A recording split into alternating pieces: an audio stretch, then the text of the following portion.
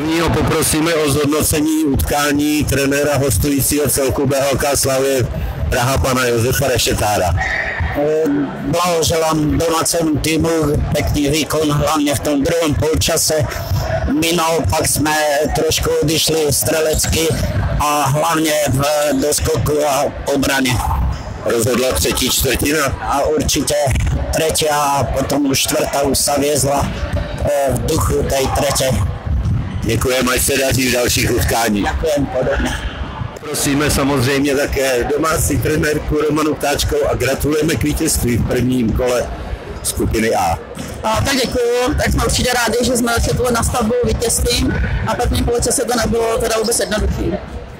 Uh, trošku jsme očekávali uh, zónu, protože kdykoliv jsme hráli násobně obranu, tak jsme si soupeřem celkem lehce poradili. Chviličku jsme na to hledali recept a až se šlo o to, aby jsme tam ty skulinky našli, ale hlavně, aby jsme proměňovali volné trojkové pozice a dneska musím hrozně pochválit době rozehrávačky, uh, které hráli famózně. Já myslím, možná nejlepší šotová utkání v sezóně a Míša Matušková není se dodat 9 měsíců nehraje basketbal a předvedla výborný výkon. A stejná otázka jako pro Josefa Rešetára rozhodla třetí čtvrtina.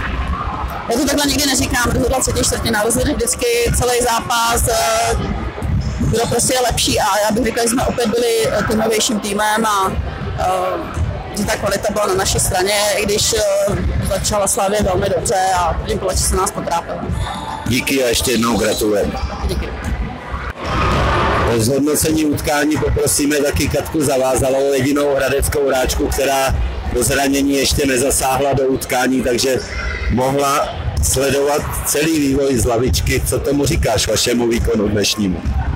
Já myslím, že holky si zaslouží úplně skvělou pochvalu. Nejvíc nás překvapila Kája, která zahrála úplně famózní zápas, takže já jsem ráda, že i Míše Matučkový to padalo, takže naprosto střední rozhrávačky jsem byla zastoupená. Ostatní hráčky se k tomu takže já myslím, že jedině spokojenost. 10 trojek, to je slušná úspěšnost. Tak jsme doma, tak to podle toho musí vypadat. Ale spíš, je, spíš jsme se trápili ten první poločas, to bylo takový nahoru a dolů, ale potom už jsme chytli slinu a jakmile to padá, tak jsme nezastavitelní.